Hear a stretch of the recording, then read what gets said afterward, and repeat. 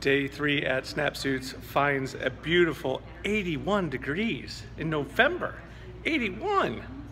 It's absolutely fantastic weather today.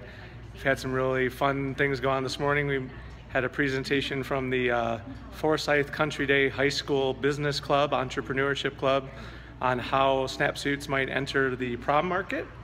Uh, interview this morning with another potential associate sales rep candidate a nice lunch at the Piedmont Club, a club core club, which is key.